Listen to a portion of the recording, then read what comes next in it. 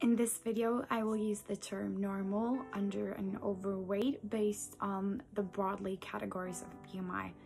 BMI is a simple measure based on weight and height. It is widely used to assess if a person is of a healthy weight, but its reliability as a health measure is often criticized as it does not distinguish fat from muscle and does not tell us where body fat is stored. I will use these categories simply to be understood.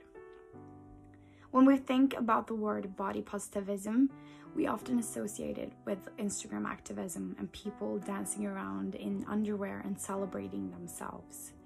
The movement is often criticized for promoting obesity and that it is excluding of normal and underweight individuals.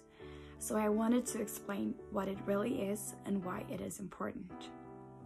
On the surface, the movement is a celebration of body diversity but it is also an important and possibly life saving activism. Body positivism is not excluding. It requires of us as individuals to acknowledge that obese individuals are discriminated against, devalued, mistreated, and bullied, and that we in general judge overweight people as unhealthy and uneducated.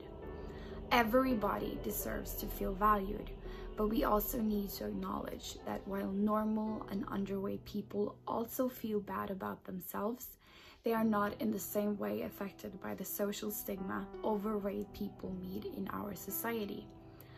You may be thin and hate yourself, and fat people may be fat and hate themselves, but the privilege as thin is that the world doesn't also hate you. Healthcare professionals and society in general need to recognize that obesity, defined by the World Health Organization as abnormal or excess fat accumulation that impairs health, is a chronic health problem, not a self-inflicted lifestyle choice. Making people feel bad about their body is not helpful. We need to make them feel accepted.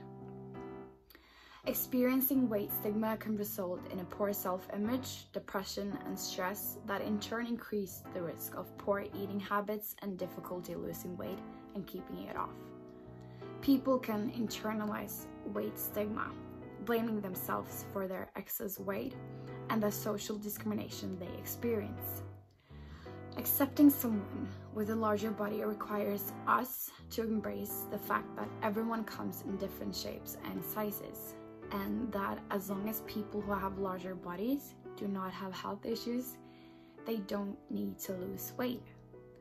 Good health includes our mental health.